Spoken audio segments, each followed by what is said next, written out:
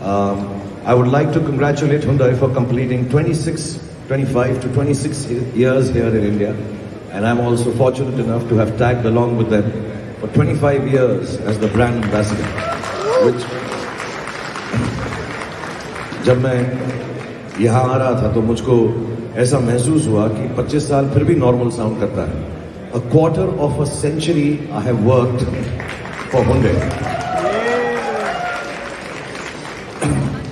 Hyundai, as you all know, has captured the hearts and minds of millions of Indians, becoming a household name in the country and taken its customers beyond mobility with a strong focus on the tenets of intelligent technology, sustainability, and innovation.